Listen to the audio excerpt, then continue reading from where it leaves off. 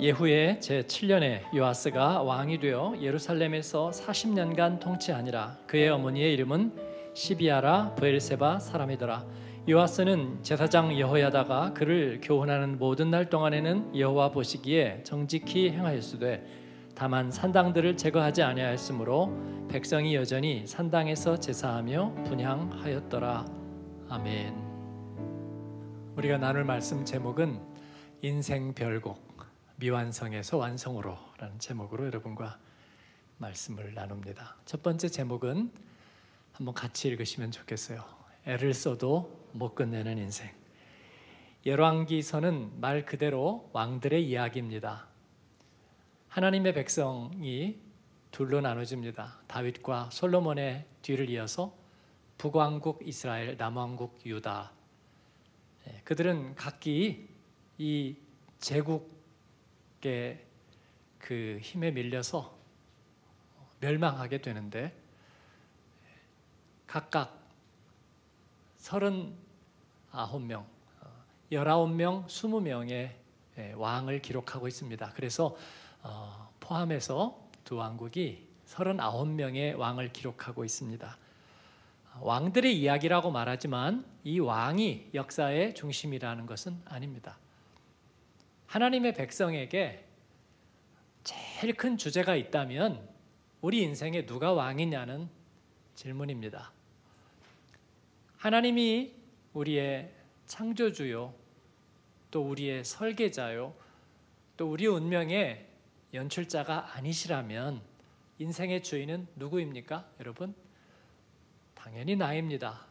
내 자아가 내 인생의 중심이고 내가 모든 것에 결정 권한을 가졌고 또 나를 위해서 사는 것 맞습니다. 그러나 우리의 생명이 우리의 의지에 달려 있지 않은 거라면 우리의 생명이 거룩한 설계자, 거룩한 연출자에게 또 우리들의 삶의 의미와 우리들의 인생 완성이 우리에게 달려 있는 것이 아니라면 우리는 컴퓨터의 단말기와 같고 그 본체는 따로 주관하시는 이가 있는 거라면 그분이 우리의 왕이 되는 것이 마땅할 겁니다. 그래서 하나님은 저 올림푸스 신화에 있는 우리 인생에 가끔씩 관여하는 절반의 신이 아니고 어, 부적처럼 우리를 위해서 조력하는 어떤 그런 신이 아니고 정말 우리의 생명의 주이신 분 그분을 우리는 예, 왕으로 인정하기로 했고 인격적인 호칭으로 아빠 아버지 우리의 아버지라고 부르기로 한 줄로 믿습니다. 이것이 우리의 왕 되신 하나님의 이야기입니다. 열왕기는 바로 이거를 시험하고 있는 책입니다. 너희들의 인생에 참전 왕이 누구냐? 예, 여기에 뽑혀 있는 왕은 하나님의 대리자입니다. 하나님으로부터 사명을 받고 전권을 위임받아서 그 시대에 하나님의 뜻을 나타내는 사람들. 예, 열왕기는 그런 기대를 하고 있습니다. 그래서 그들을 아, 하나님의 대리자, 그들은 대표 단수입니다. 적용해 보면 저와 여러분, 우리 한마음 교회는 디아스포라 교회의 대표 단수입니다. 우리가 훌륭하고 대단하다는 그런 의미가 아니라 우리는 그런 자의식을 가지고 있습니다. 다른 교회들도 역시 그러합니다. 우리는 하나님의 대리자요 대표자입니다. 우리는 하나님을 왕으로 모시고 그를 우리의 창조자, 구원자, 설계자, 또 역사를 완성하시는 분으로 고백하고 있습니다. 그리고 세상 사람들이 그런 우리를 바라볼 겁니다. 뭐가 다른데? 그래서 어떡할 건데? 그렇습니다. 그래서 우리를 보라고 우리는 말하는 것입니다.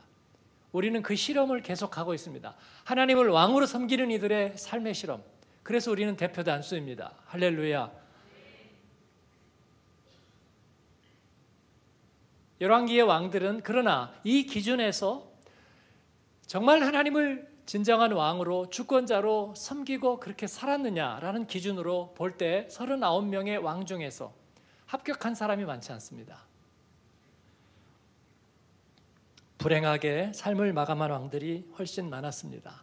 물론 그 중에는 백향목으로 왕궁을 짓고 또 수천 필의 말을 거느리고 외교 관계에서 성공을 거두고 또 경제적인 번영을 일으켰던 왕들도 있었습니다.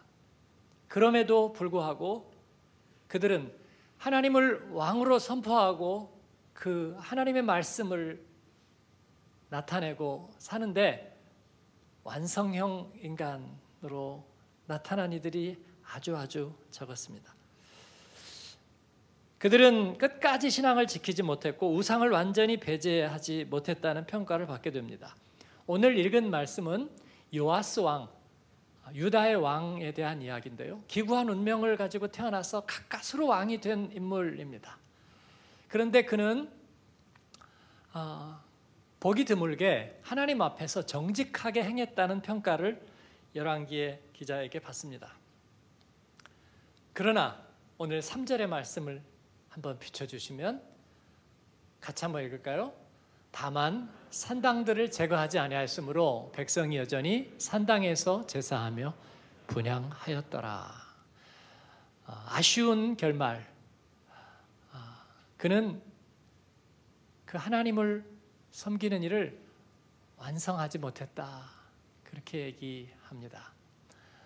아, 여러분 INC가 뭔지 아세요? 제가 아, 신학대학을 다닐 때 학기가 끝나면 성적표가 오잖아요. 성적표가 아, 뭘로 오죠? 영어 알파벳으로 오죠. 제일 잘하면 A. 뭐 그 다음에는 이제 A 플러스도 있고 그런데 우리는 그냥 A. A. 그리고 어, B면은 보통이죠. 대학원 가거나 유학 가려면 B상은 맞아야죠. 그보다 안 되면 어떻게 되죠? 예, 시들시들, 시디시디 하면 이제 학점이 시들시들한 거죠. 뭐 여기 오신 분들은 시디시디는 없을 거예요. 예, 그리고 완전히 이제 나가버리면 예, 쌍권총은 아시죠? 예, F 두 개딱 탈면 쌍권총이 되고 학사 경고를 받게 되죠. 근데 거기에 예, 과목에 INC라고 적혀 있는 게 있어요.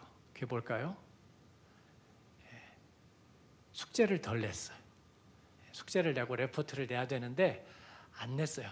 근데 그러면 바로 F 처리를 하거나 그러지 않고 INC, incomplete, 아직 미완성이다.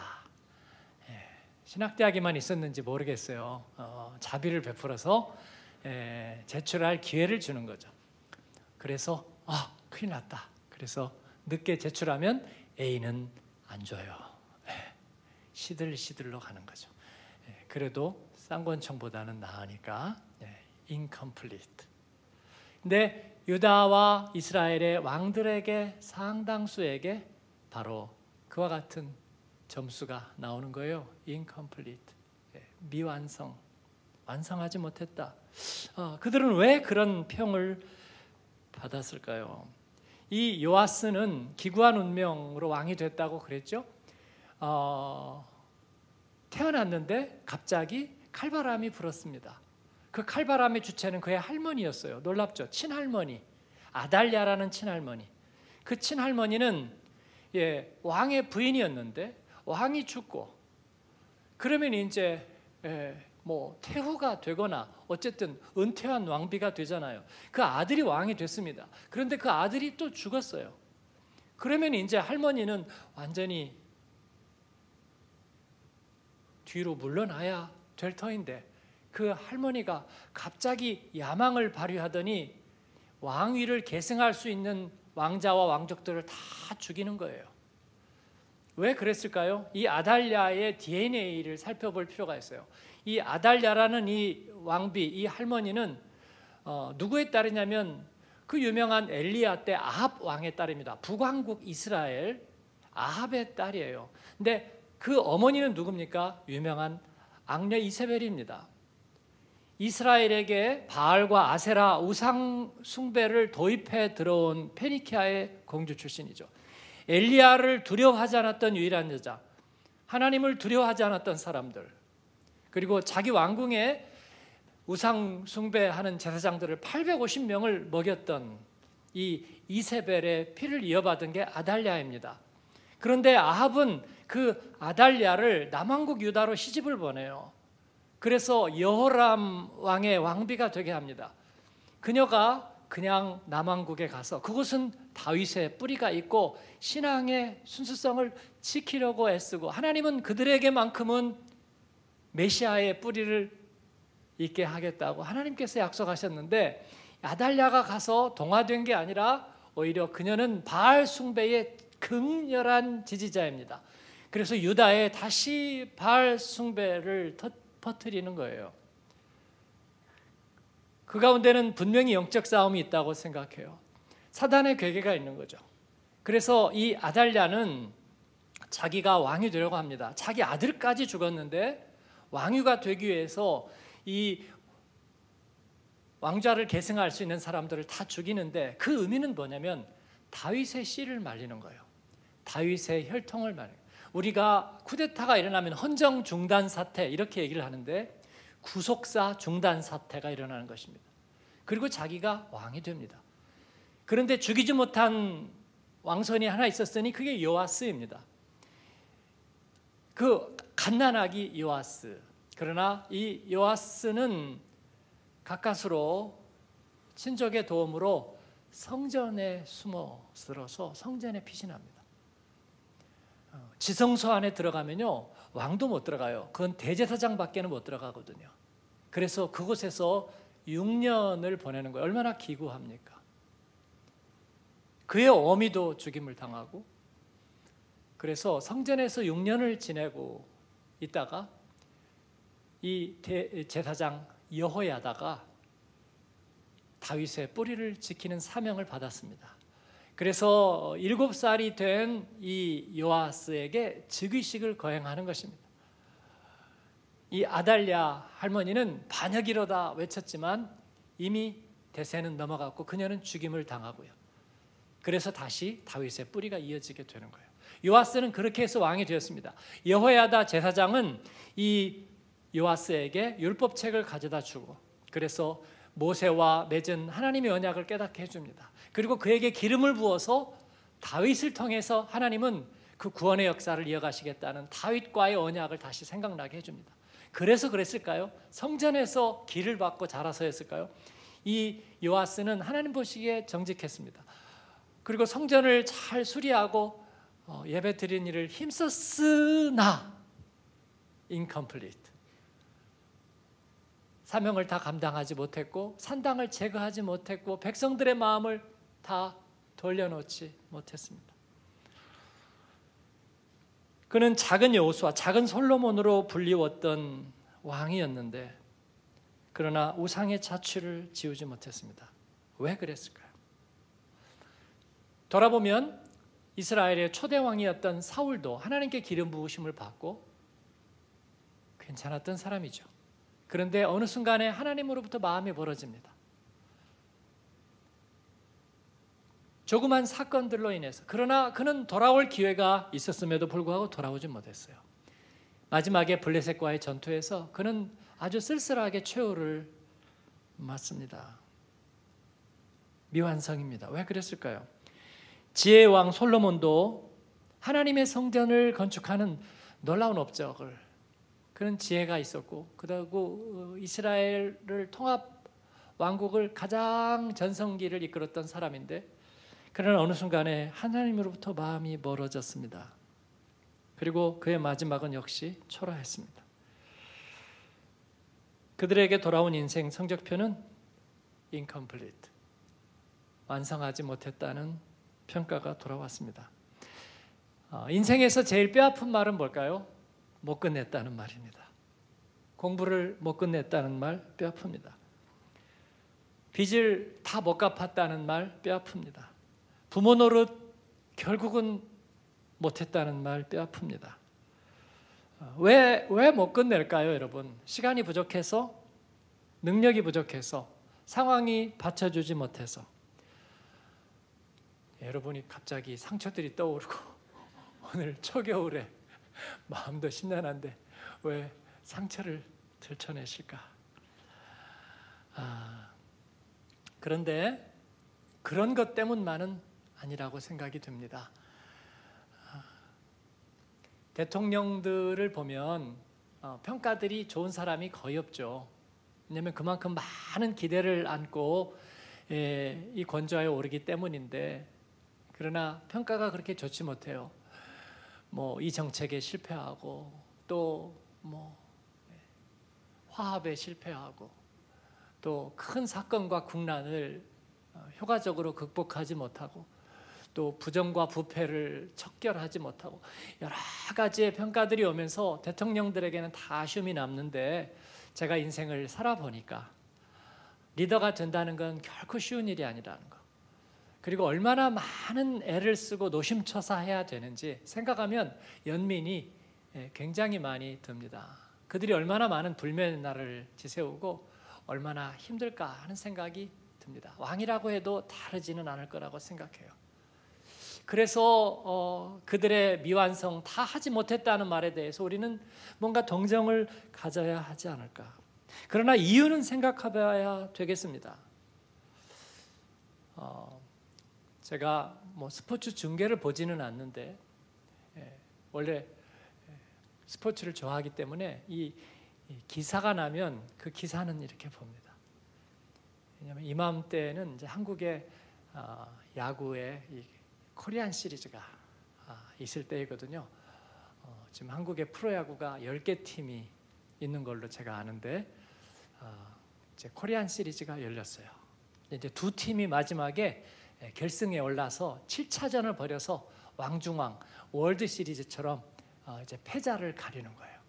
그런데 이번에 어느 팀이 올라갔는가 뉴스를 보니까 서울의 그 프랜차이즈를 둔 두산 베어스가 올라갔습니다. 1980년에 프로야구가 시작되면서 그게 뭐가 중요하냐고요. 네. 그, 때 예, 두산 베어스 그때 오비 베어스인데 거기에는 22연승을 한 아, 정말 불멸의 투수 박철순이라는 투수가 있었거든요. 야 박철순 멀리서라도 한번 보려고 그랬었는데 그 팀이 두산 베어스예요. 근데 어, Korean Series를 일곱 번을 연속으로 올라간 거예요.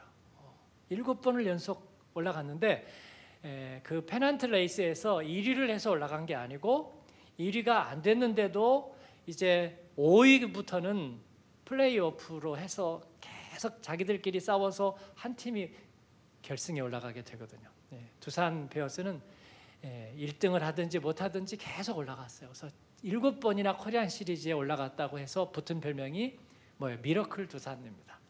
근데 이번에는 아마 5인가 아, 4인가 그렇게 했어요. 그래서 결승전에 올라가려면 어, 플레이오프를 세 번을 해야 되는 거예요. 그러니까 5위하고 4위하고 이기면 3위하고 하고 이기면 2위하고 하고 그래가지고 또 예, 세 번을 이기 아, 두 번을 이기면 마지막으로 코리안 시리즈에 올라가는데 두산이 거기를 올라간 거예요. 얼마나 놀라운 일입니까? 그래서 결승전에서 붙은 상대는 한 번도 우승을 못 해본 예, 처음 결승에 올라온 팀인데 어떻게 됐을까요? 두산 베어스가 어, 기적을 쓰고 역시 미러클 두산 그래서 뭔가 역전의 신화를 이루어 주기를 사람들은 그런 거 좋아하잖아요. 예, 그렇게 기다렸는데 뉴스를 보니까 두산 베어스가 네 번을 연속 힘없이 져가지고 4연패로 낙마했어요. 아 그러면 너무 계속 올라오다 보니까 지쳤을 거야. 소진했을 거야. 아면 주전들이 아마 부상했을지도 몰라.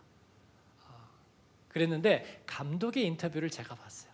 예, 저는 그런 게 궁금하거든요. 감독이 뭐라고 얘기하는지, 리더가 뭐라고 얘기하는지. 그랬더니 그 두산 감독이 쿨하게 인터뷰를 하면서 하는 말은 전혀 의외였습니다. 아, 뭐 이 정도면 잘한 거 아니에요? 최선을 다했습니다. 선수들이 자랑스럽습니다. 아, 힘이 좀 빠지고 투수들을 너무 많이 썼더니 예, 투수 자원이 바닥났습니다. 저는 그렇게 얘기할 줄 알았어요.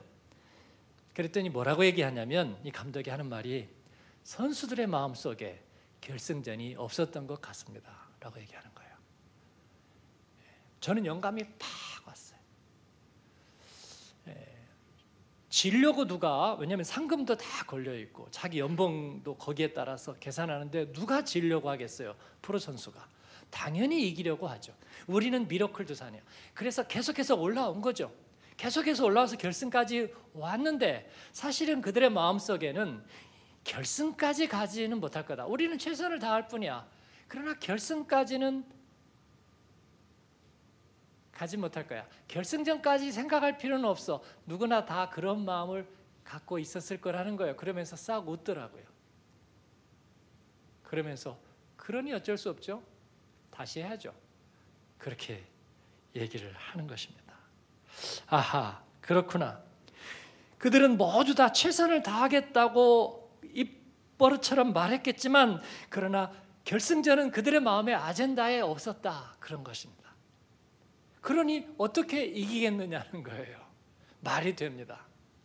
설계도에 나타나 있잖아요. 이 공정이 이루어지지 않았어. 그래서 어 이거 왜 이루어지지 않았죠? 보니까 설계도에 없었던 거예요. 설계도에 없는 것을 어떤 공사 감독이 구현해낼 수 있겠습니까? 사울 왕의 마음속에는 사실은 돌아갈 것을 생각하지 않았다는 거죠.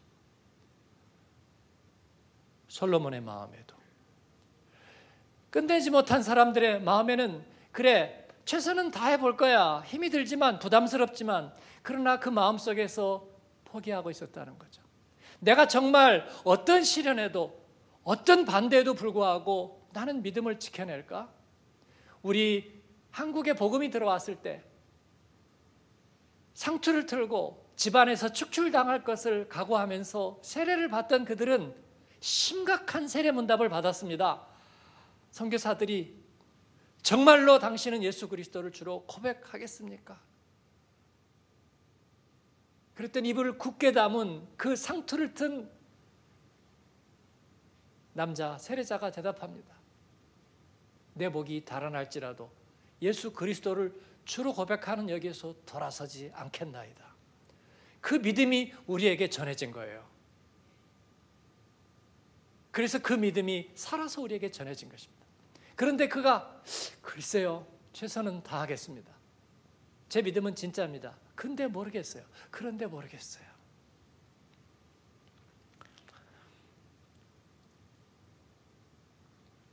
이미 마음에서 지워져 버린 이야기.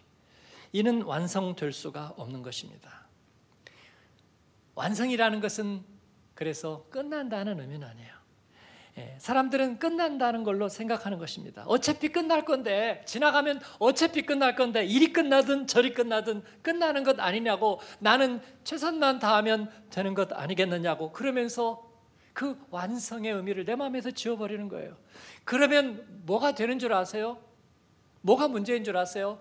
그 다음에 다시 하기가 어렵다는 거예요. 내가 마음으로 포기해버린 것은요, 누가 그 다음에 다시 할 수가 없어요. 다시 하기가 어려운 일이 됩니다. 선교사가 사역지를 버려요. 무슨 이런저런 어려움이 있어서 나는 여기서 선교 더 이상 못해요. 그래가지고 철수하면서 그냥 마음이 떠나버린 거예요.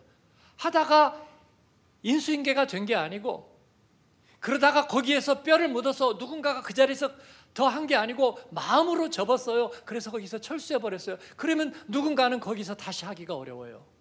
여러분, 우리가 유럽 300교회 디아스 포라 교회를 섬기자는 주제를 하나님 앞에 드렸습니다. 교회 앞에서 선포했습니다. 근데 사실은 우리의 마음속에 명분이에요. 어떻게 우리가 300교회를 어떻게 누가 언제까지 하겠어요? 그냥 하는 말이지. 최선을 다해 보자는 말이지. 그래도 그 중에 몇 개라도 해 보자는 말이지. 그러다가 어렵거나 그러면 그냥 그 다음으로 미루면 되지라는 생각을 우리가 처음부터, 제가 처음부터 마음에 가지고 있다면 분명히 언젠가는 포기될 거예요. 그리고 그 포기된 것은 그 다음에 누가 다시 얘기 꺼내기 어려울 거예요. 누군가가 와서 아 참 예전에 그 300교회를 섬기자는 얘기 참 너무 좋았는데 우리 다시 하면 어때요? 아 그거 부작용도 많았고 하다가 흐지부지 된 거예요. 그러니까 우리 차라리 그런 얘기 하지 말고 내실이나 기해요. 아마 저항에 직면하게 될 겁니다. 처음부터 그걸 알 수 있는 거예요. 그래서 하나님은 우리에게 말씀하세요. 어미가 젖먹이를 잊어버리겠느냐? 젖먹이가 앞으로 어떻게 되는가에 따라서 내가 너를 버릴 수 있어 버릴 수 있어 늘 그렇게 얘기하겠느냐? 아니요. 어미는 젖먹이를 잊지 못한다. 포기하지 않는다. 그러나 그러나 설사 어미가 젖먹이를 잊어버리는 일이 생길지라도 나는 너희를 잊어버리지 않겠다 말씀하세요. 최선을 다하겠다. 하나님은 우리에게 그렇게 말씀하시지 않았어요. 예수님은 아버지여 내게 주신 사람을 한 사람도 잃어버리지 아니하겠나이다. 저는 하나님 앞에 약속하는 거예요. 우리 한마음께서 만난 성도들, 그들의 눈물과 고백과 기도를 알고 있는 그 사람들, 하나님 한 사람도 실패하지 않도록, 한 사람도 믿음의 길에서 떠나지 않도록, 한 사람도 하나님 멀어지지 않도록 주님 앞에 다 올려드리겠습니다. 심지어는 주재원 성도들 우리 교회에 있다가 여기서 예수님 만나고 양육받고 지금 그 사람 이름은 잊었지만 아니요 안 잊어버렸습니다. 어, 십몇 년 전에 있었던 사람이. 목사님 저 혹시 혹시 알겠어요? 성집사인데요. 왜 몰라? 늘 얘기하는데.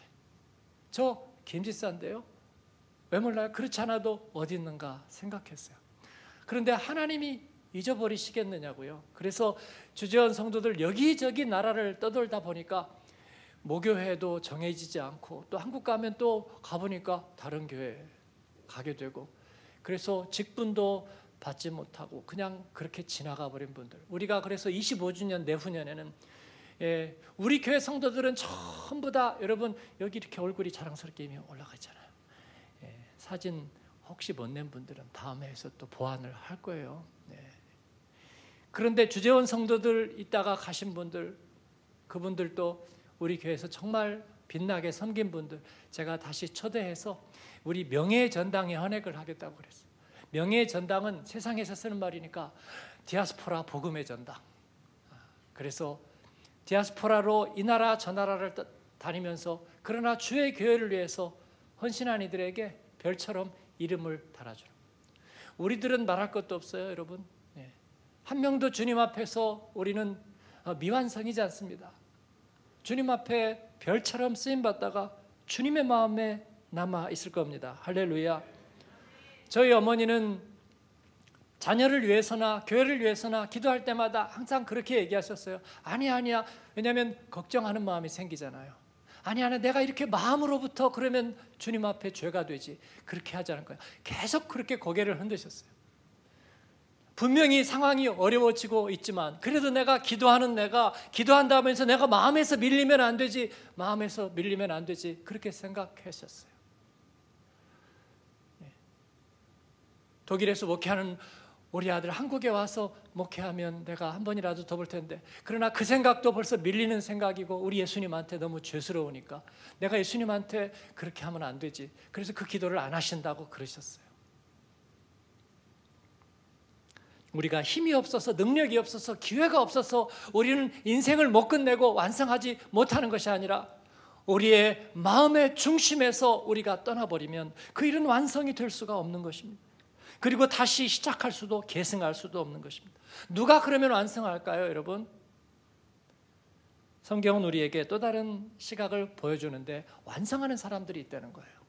그런데 그 이름이 좀 다릅니다. 제가 찾아낸 대답은 이것입니다. 같이 한번 읽을까요? 끝내지 못해도 완성되는 인생. 열왕기의 대표적인 사람 엘리야의 인생을 생각해 봅니다. 그는 불같은 하나님의 사람이었는데 그런데 그가 뭘 끝냈죠, 여러분? 뭘 끝냈나요? 사실 끝낸 것은 없어 보입니다. 북왕국은 배교의 길에서 완전히 벗어나지 못했고요. 엘리야는 하나님의 살아계심을 분명하게 선포했지만 왕들이 변화되지 않았고요. 이세벨은 엘리야를 두려워하지도 않았습니다. 세상은 달라진 것이 없어 보였고 유행가 가사처럼 그렇게 세월만 흘러 그는 은퇴가 가까웠습니다. 그러나 엘리야의 열정은 사라지지 않았고 실패하지 않았습니다. 왜? 왜? 다 이루지 못했는데도 그는 왜 실패하지 않았을까? 마음에서 거둬들인 적이 없기 때문입니다. 마음에서 거둬들인 적이 없습니다. 그의 마음 안에는 어떤 원수도 어떤 이세벨도 들어올 수 없었습니다. 내 주와 맺은 언약은 영 불변하시니 십자가를 질 수 있나 주 물어보실 때에 죽기까지 따르오리 저들 대답하였다. 우리 선배 신앙인들은 그렇게 찬양했습니다.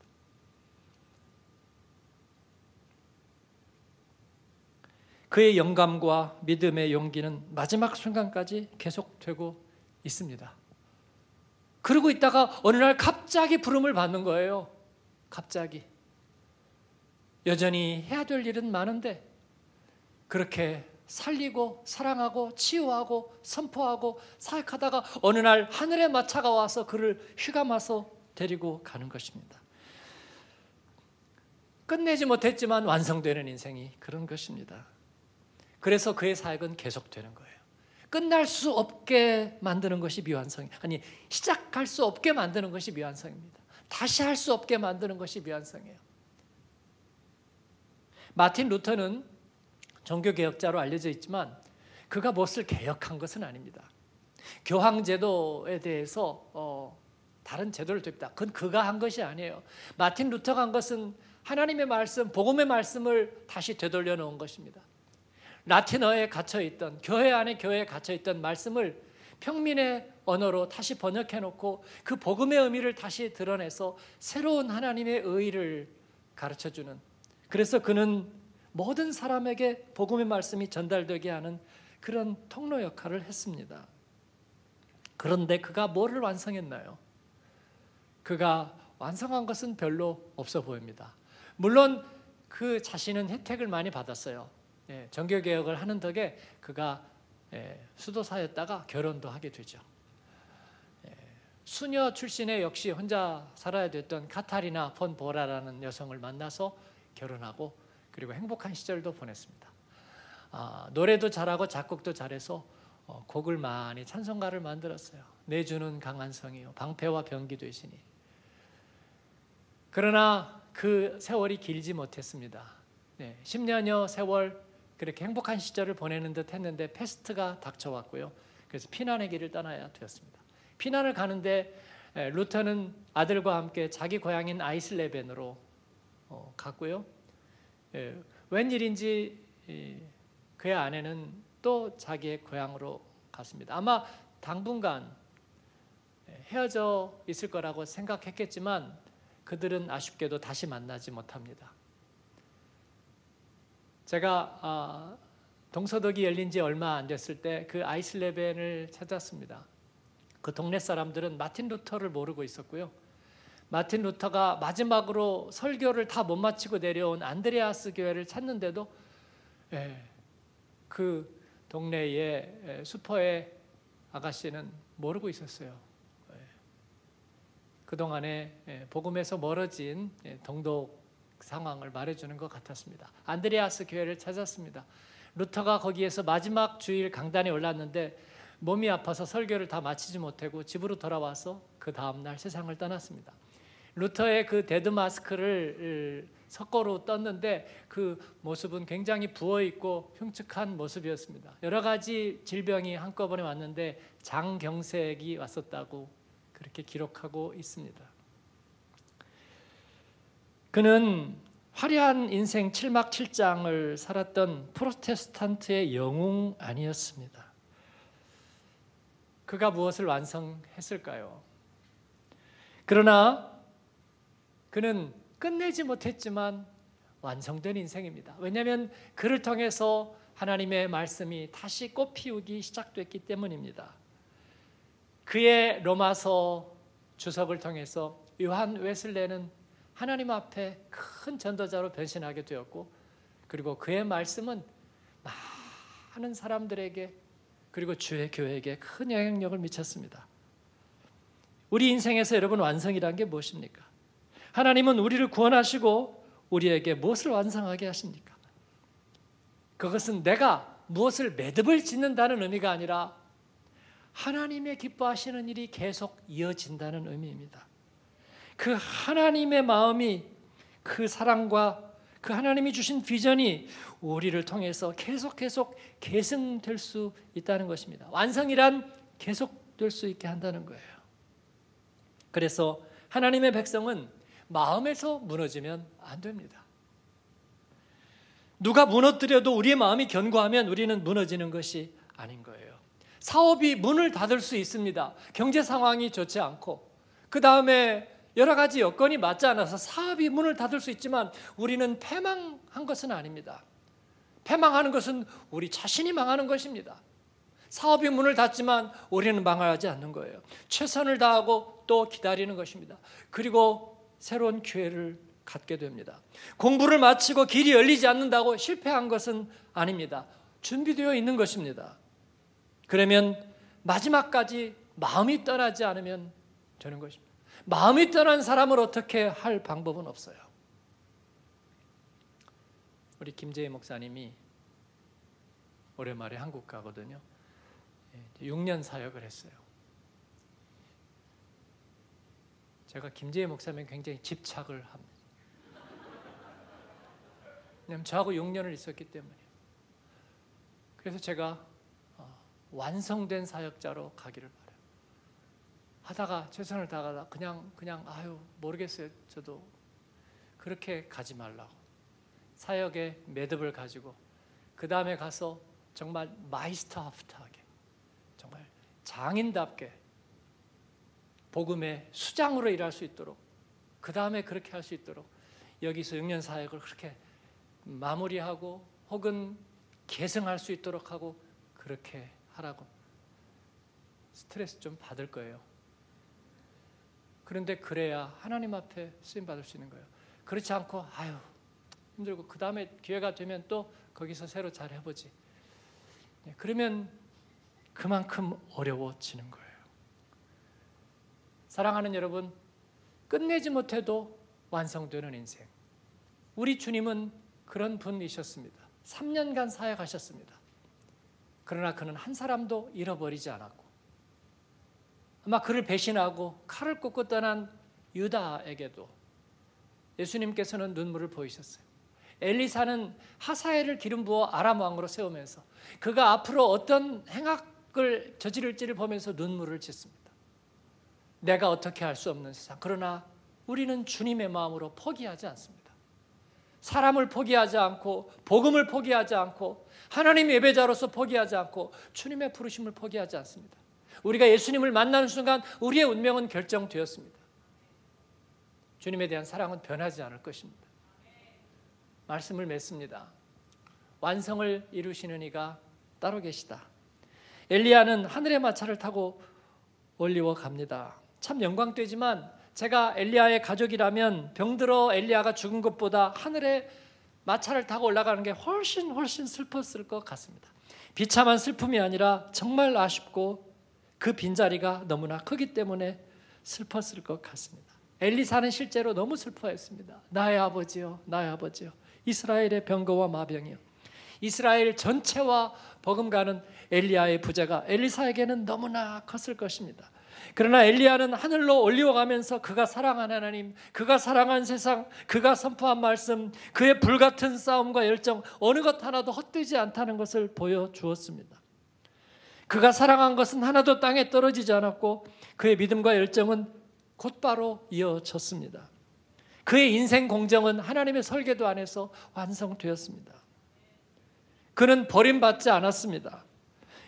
그의 이야기는 오래오래 오래 기억되어서 아름다운 meta story, 하나님의 큰 복음의 스토리 안에 그 엘리야의 이야기는 남아 있습니다. 세례 요한이 왔을 때 사람들은 물었습니다. 네가 누구냐? 엘리야가 다시 살아난 것이냐? 엘리야의 이야기를 기억하고 있습니다. 엘리사도 죽었는데 그의 죽은 시신이 시체에 닿으니까 시체들이 살아났다는 이야기를 열왕기서는 전하고 있습니다. 그는 죽어서도 말하는 사람이었습니다. 그는 끝나지 않았습니다. 그는 살리는 생명사역, 물을 파면 우물이 나왔고 그 물은 살리는 물이 되었습니다. 사랑하는 여러분, 우리는 그렇게 되기를 바랍니다. 의사가 환자를 포기할 수는 없죠. 한국의 의사들은 수명이 짧습니다. 왜냐하면 책임감이 그만큼 막중하기 때문이에요. 가끔 부도덕한 이익만 생각하는 의사들이 가끔 있는지 없는지 모르겠어요. 그러나 대부분의 의사들이 그러지 않을 수 없는 것은 그러지 않을 수 있는 것은 뭐냐면 생명을 다루고 있기 때문에요. 그 책임감이 막중하기 때문에요. 그래서 스트레스가 많고 그래서 수명이 짧습니다. 제가 장례식 때 조문을 이렇게 봤는데 서울의 의사들이 한 500여 명은 와서 조문을 한 것 같아요. 제가 그때 느낀 게 있어요. 전부 다 얼굴이 하얗다는 거예요. 햇빛을 못 봐가지고 예, 늘 진료하고 경무에 시달리니까 얼굴이 전부 하얘요. 그리고 그 다음에 이제 예, 절을 하는데 보니까 젊은 분들이 이구동성으로 한결같이 뼈에서 소리가 난다는 거예요. 그 절을 하는데 이 아가씨도 뭐 그러니까 여자 의사도 그렇고 남자 의사도 젊은 사람도 이렇게 뚝뚝 뼈 소리가 나. 제가 어떻게 어떻게 운동을 안 해가지고 예. 그래가지고 관절에서 다 뚝뚝 소리가 나는 거예요. 그래도 포기할 수 없죠. 그냥 아, 이 암은 생존 확률이 1년 생존 확률이 30%야. 그러니까 우리는 할도리 다 하면 돼. 그런데 어떻게 환자가 살겠어요, 여러분? 이 돌아가신 병광천 집사님 의사가 노르트베스트 크랑켄하우스의 의사였어요. 근데 그 사람이 우리가 물으니까 분명히 얘기했어요. 우리는 확률로 생각하지 않고 살리려고 치료합니다. 걱정하지 마세요. 나는 당신을 살리기 위해서 치료할 겁니다. 아, 이거 어차피 1년밖에 못 살아요. 잘 살아야 1년이에요. 그렇게 말하지 않는 거예요.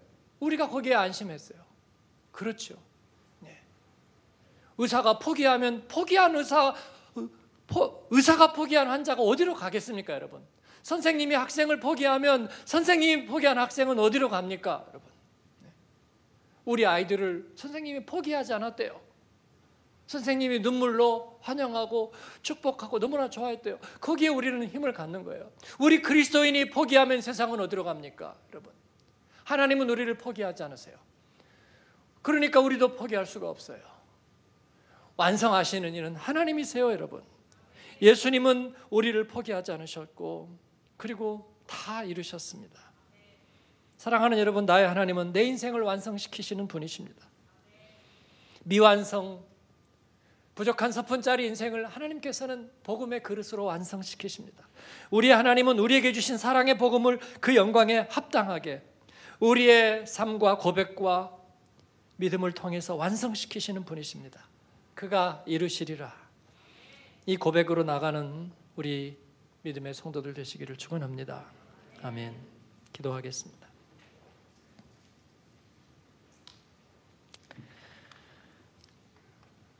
우리 응답하면서 어, 하나님께 기도하면 좋겠어요. 하나님 감사합니다. 주님 우리를 버리지 않으시고 우리 안에 믿음의 선한 일을 착한 일을 시작하셨습니다. 그리고 하나님은 이를 놓지 않으시리라 말합니다. 주님 우리도 그렇게 하겠습니다. 이 믿음과 고백을 변치 않겠습니다. 열매 맺고 꽃 피우고 하늘의 마차가 우리를 휘감아 오릴 때까지 우리는 사랑하고 치유하고 섬기겠습니다. 하나님의 생명 말씀에 우리의 소망을 두겠습니다. 주님의 왕 되심을 고백하고 부끄러워하지 않겠습니다. 전하고 전하고 우리 자식에게 계승하겠습니다. 하나님 아버지 복 주시고 우리를 그렇게 사용하여 주옵소서. 우리 같이 입술을 열어 기도하겠습니다.